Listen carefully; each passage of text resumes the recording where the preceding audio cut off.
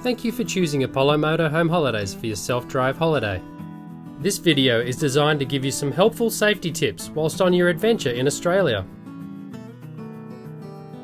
Please drive on the left-hand side of the road and strictly follow the road rules and signs. Take extra care at traffic lights, reminding yourself before you turn to stay on the left.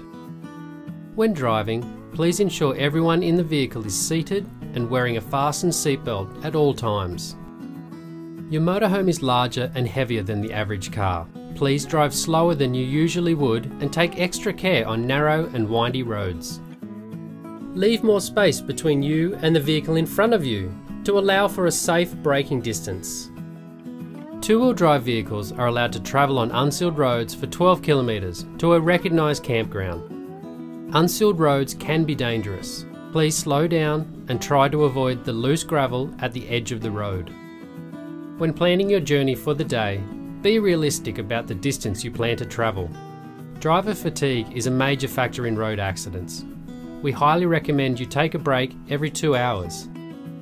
It's not unusual to see kangaroos and other animals on the roads in rural areas, especially around dusk and dawn. Please try to avoid driving during these times to reduce the chance of animal strikes.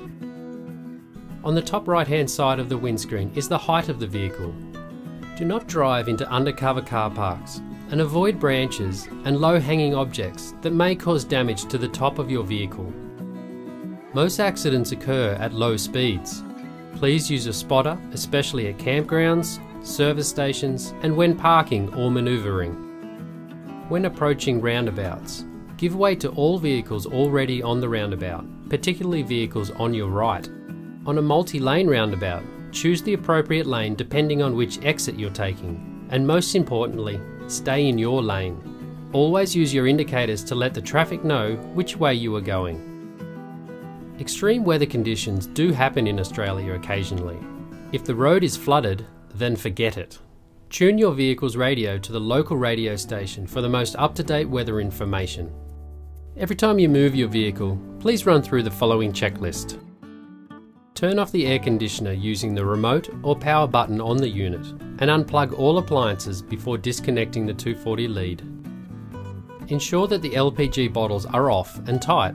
Butane bottles are unloaded from the stove and loose bottles are stowed away safely. Secure all loose items in the vehicle. Stow away the rear dinette table.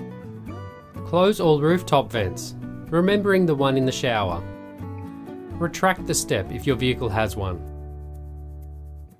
Thank you for watching. We wish you a great and safe holiday with Apollo Motorhome Holidays.